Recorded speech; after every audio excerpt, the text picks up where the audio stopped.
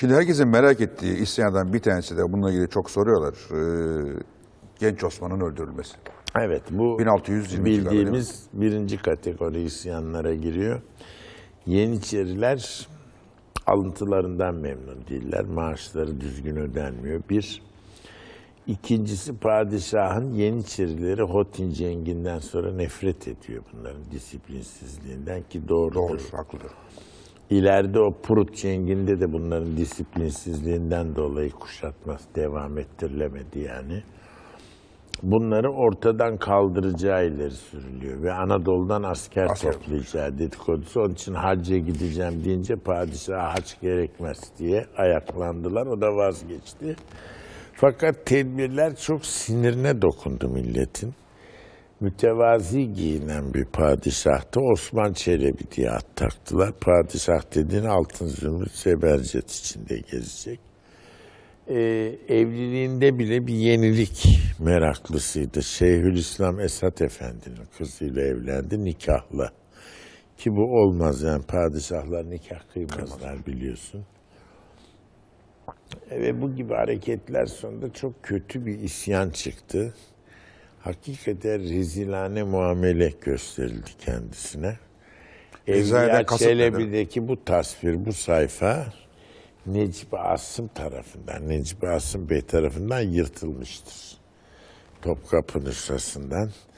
Efendim bu rezalet ileriki nesillere kalmasın. Tecavüz olduğu için. Ha? Tecavüz olduğu için mi? E böyle bir şeyler var. Yani ne olduğu tam bil Bilinmiyor belki de ama. abartma yani. Evliya da her şeyin en doğrusunu yazacak değil. Evliya Çelebi biliyorsunuz çok zekidir, dahi bir adamdır. Yani lisanları çok iyi duyup kaydeder. Çok iyi gözlemler yapar ama ara sıra da böyle nükte falan derken işi izam eder. O onun tadındadır yani ayırt etmek çok kolaydır onu. Ve bir kötü huyu daha vardır. Fazla sebatkar değildir bazı şeyi takip etmekte. Şimdi Evliya Çelebi biliyorsunuz Enderun talebesidir. Enderun'a alınmıştır. Çünkü Melek Ahmet Paşa'nın yeğenidir. O yüzden alınmıştır. Fakat bu disiplinsizliğinden dolayı Enderun'un havasına intibak edememiştir. Çünkü Enderun çok sıkıcı bir yerdir. Yani çok kuralcı bir yerdir. Çok etiketçi bir yerdir. Çok sert bir yerdir. Yani azarlanırsınız, tedip edilirsiniz. Falakaya kadar gider. Devamlı da adam dövmezler tabii öyle bu Bobovski'nin dediği gibi, o Ali Ufki Bey'in ama sert ve tatsız bir yerdir. Dayanamamıştır. Enderun'dan tasdikname almıştır. Atılmış Yenerlerden. Yani intibak edemedi. Kendi çekilmiş ama haftasında işte Melek Ahmet Paşa yahut bir başkası şey Bursa'ya giderken bunu maiyete almış. Oradan da yürü ya kulum seyahat ya Resulullah.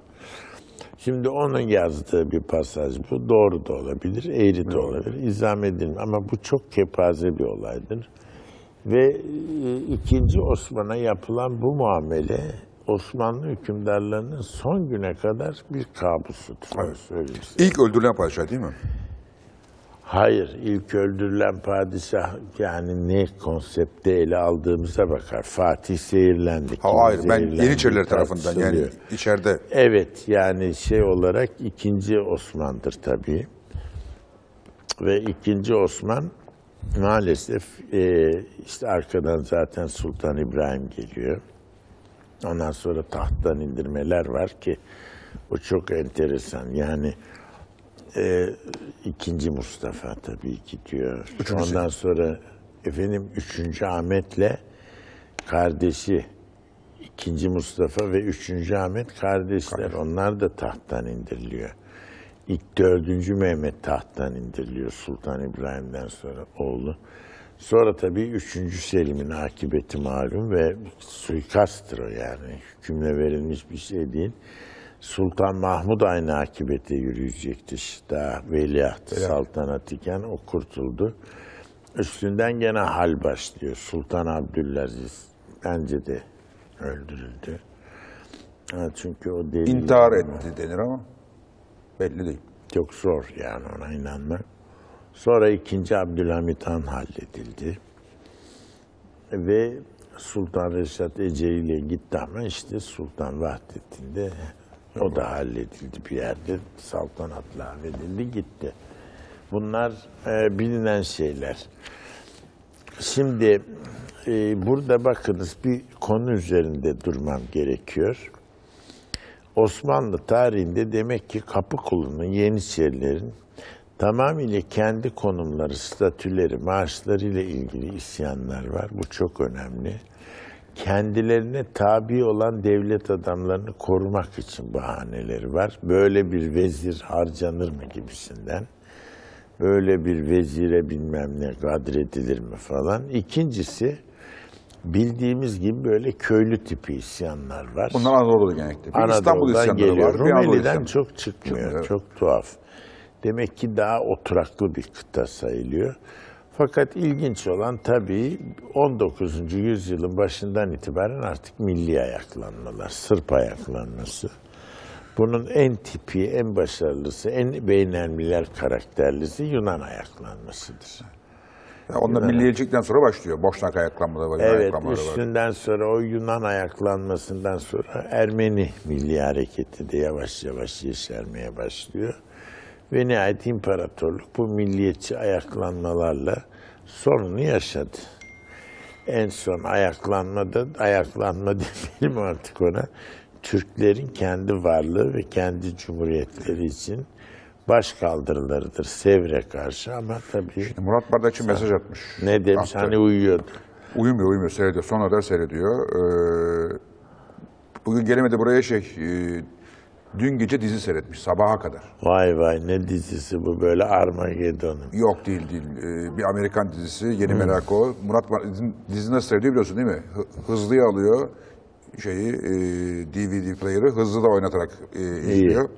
Böyle bir gecede 10 bölüm izliyor. Dün sabah 5'e kadar dizi izlemiş. Ha, diyor ki 1960'larda Türbeler Müdürü Yavuz Senemoğlu, S- Sanemoğlu Evet. genç Osman'ın mezarını açtı. Kafasının kesik olduğu görüldü. Bu bilinmezdi. Evet. Yani kafasını keserek öldürmüşler bo boğarak. Olabilir, olabilir. Padişah kanı akıtmamak gerekmez mi? Osmanlı kanı akmayacak değil mi? E sen onu ona söyle iki reziler. Sonra onları götürdüler. Yani Evet. padişah kadreden yaşatılmaz, Yaşatılmaz. onu söyleyeyim. O kaide. Hocam bir ara vereyim. Hay Sonra hay. bu Lale Devri isyanları falan var. Bu Sanemoğlu'nun türbe açtırmasını, mezar açtırmasını bilmiyordum. Türbesi yok. Murat türbede. öyle diyor. Pek bilinmez diyor. Ee, Murat her şeyi bildiği için. Ee, mesela Sultan Abdülhamit'in e, türbeye, e, Fatih'in türbesine heyet soktuğu ve yemin billahla soktuğu da biliniyor. Biliniyor. Ne olmuş, ne görmüşler. Onu bilemiyoruz o kadarını. bir ara vereyim devam edelim sonra. Değerli izleyiciler, bazı izleyiciler garip şeylere takıyorlar. Diyor ki kalem çevirme hocanın karşısında çok ayıp oluyor. Vallahi 22 yıldır programı yapıyorum. 22 yıldır bu kalemi çeviriyorum. Kusura bakmayın yani. Ee, Tik mi desek, alışkanlık mı desek çevriliyor. Kimsenin de bir rahatsızlığı yok zannediyorum. Ee, bir de e, niye e, İlber Bey'e İlber Bey demiyormuşum, e, siz demiyormuşum, sen diye hitap ediyormuşum. E, bunca yıllık dostluktan sonra e, siz demek bir siz diyeceğim, bir sen diyeceğim, ne diyeceğim ben de bilemeyeceğim.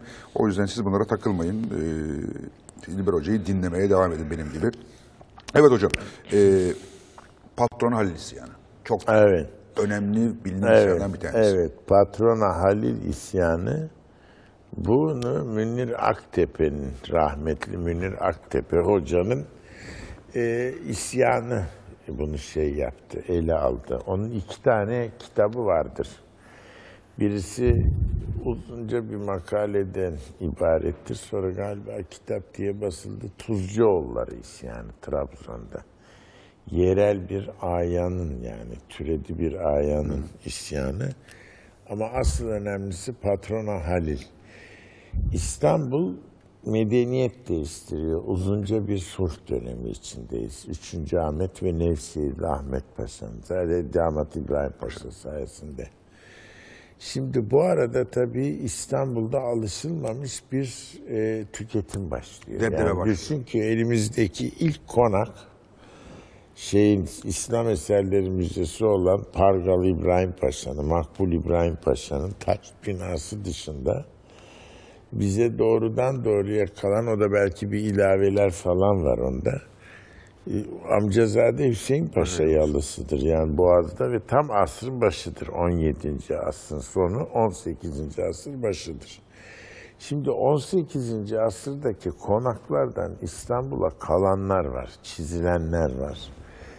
Giyimler değişiyor, ziyafetler değişiyor, kayıklar değişiyor. Kağıthanenin süsü püsü değişiyor. Bir yandan da yatırım değişiyor. Yani aynı yere Halic'in kıyısına da önemli sanayi tesisler, manifaktür falan. Bir masraf var ve bir sıkıntı var ve Anadolu boşalıyor İstanbul'a ama bugünkü gibi aileler halinde değil. Daha çok işte hanlara dolan bekarlar pek nadiren gece kondular türüyor sur dışında falan. Aileler halinde gelmişler. Bunun yarattığı problem ve eşitsizlik hocanın görüşüne göre patrona Halil isyanının ana unsuru. Zaten bu patrona Halil Bahriye'den ayrılma ama etrafında hamam taylaklarını Evet, topluyor. Kendi de o şekilde ve bu esnaf ulemanın cahil kesimi tarafından yani daha ziyade böyle şarlatan kesimi tarafından kışkırtılıyor. Mesela bir Ayasofya imamı var. Onun ebced hesabıyla bir şeyi var. Vaazı evleri şenlik yani. Tarihçilerden nakledilen. Ayasofya'nın imamı cahil bir imam mı? Değil. Üçkağıtçı. Üçkağıtçı. Cahil olamaz. Olamaz yani. çünkü. Ama öbür imamlar gibi değil. İşte diyor bunlar çıplak ayak gezer diyor. Bu ne demek diyor? Kadem diyor. Kademe ebcede vuruyor. Çıkanı ikiye bölüyor. Nereden icap ediyorsa.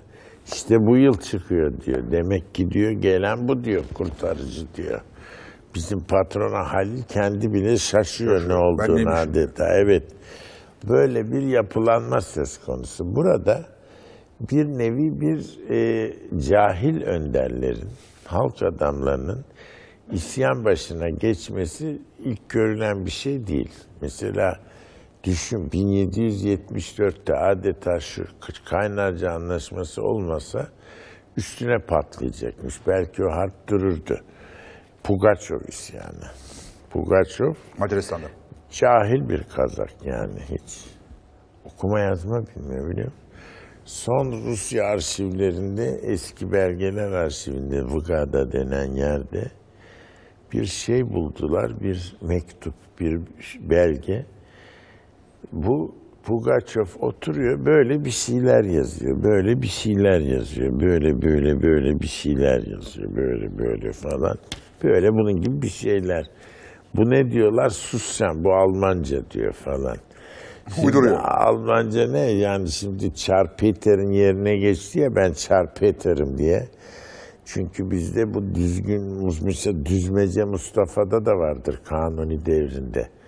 Ben diyor Şehzade Mustafa'yım diyor ayaklanan. Daha evvel bir cimri vardır, aynı vakadır. Mesela burada da kalkıyor işte sizin gördüğünüz gibi ben diyor buyum diyor. Veya bir sahte Dimitri vardır 17. asırda. Korkunç Ivan'ın Boris Godunov tarafından götürülen oğlu veliaht yani Dimitri benim diyor. Biri çıkıyor ortaya. Dimitri Samozvanets. Bu da ben üçüncü Peter'im diyor. Beni diyor yok etmek istediler, kaçtım diyor. Tabi darbede öldürüldü biliyorsun. Ve ikinci Katerina'nın iktidarının zirvesinde işte bir büyük ayaklanma. Peşine bir kere bütün Volga köylüleri, bir takım serbest kazaklar veya serbest kazakken arazileri alınanlar. Hatta çok enteresan Tarahanova diye bir Türk Mirza kadın bile var Kazan'dan.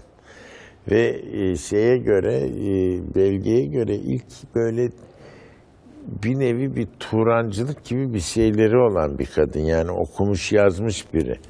Bunların isyanı var. Bu mesela e, Pushkin bunu tarih olarak yazdı önce. İstoria Pugachinskova, Pugachinskova, Vostaniye. Sonra kitabını yazdı. Evet sonra Kapitanskaya Doçka, yüzbaşının kızını buna Ben de istinaden. tabii yüzbaşının kızını Romanda o kadar şey gibi o enteresan bir tarih görüşü yok ama roman çok iyi bir roman. Yani çünkü ilk defa olarak düşününüz 19. asrın ilk yarısı böyle çok renkli bir muhit, renkli insanlar, renkli yapılanmalar Rusya'da karşı karşıya getirilip tasvir ediliyor. O bakımdan çok önemli ve tabii dili. Şimdi bizde de bu tip ayaklanmalar var. Yani bu şey ayaklanması düpedüz bu yani. Sokak hezeleleri, esnafın serserisi, göçmen takımı, içeride oturan ve bir takım şarlatan alimler, gene talebeler falan etrafta. Ve neticede biliyorsunuz birinci Mahmut devri geliyor. Üçüncü Ahmet tahttan indirildikten bu arada sadrazamını da harcamak zorunda kaldığından damadını. Sonra birinci Mahmut tahtta bir gün bunları toplantıya çağırdılar. Efendim Bağdat Köşkü'nde ve bir güzel kılıçtan geçirdiler. Hepsi bitti bu yani. Osmanlı'da isyanın hükmü çok kısa sürer.